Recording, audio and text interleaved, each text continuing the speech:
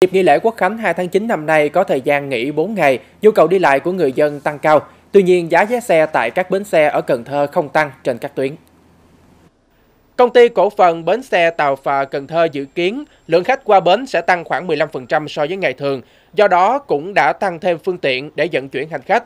Theo đó, ngoài số lượng gần 1.000 xe tại bến xe khách trung tâm thành phố và bến xe quận Ôn Môn, còn dự phòng thêm khoảng 20 xe để đáp ứng nhu cầu của hành khách.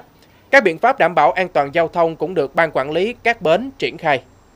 Điều động là tất cả các phương tiện của đơn vị vận tải à, hoạt động à, theo biểu đồ của được cơ quan quản lý tuyến là Sở Giao thông Vận tải chấp thuận.